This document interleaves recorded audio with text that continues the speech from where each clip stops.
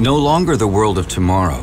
Electric trucks are here today, thanks to a firm commitment from a visionary group of organizations.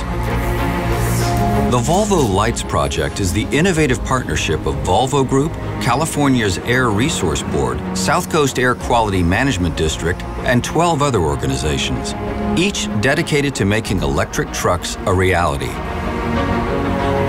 But the vehicles themselves are only one part of what's needed for large-scale electrification to succeed.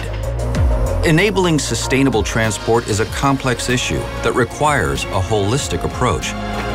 Incorporating key stakeholders to ramp up necessary infrastructure, industry standards, and workforce deployment.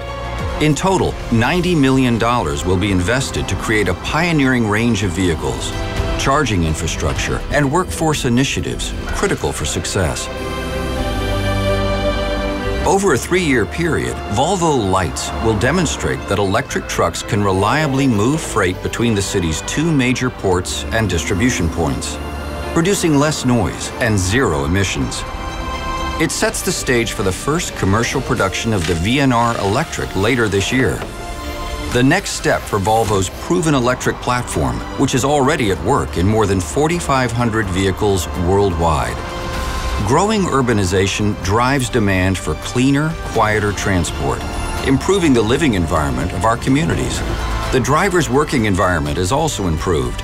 There's less stress and fatigue from noise and vibration, and more enjoyment from the immediate, smooth response of the powertrain.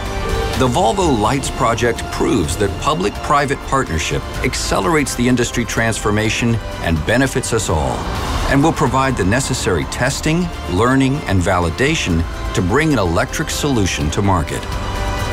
Electric vehicles charged with renewable energy, an innovative step towards transportation's sustainable future.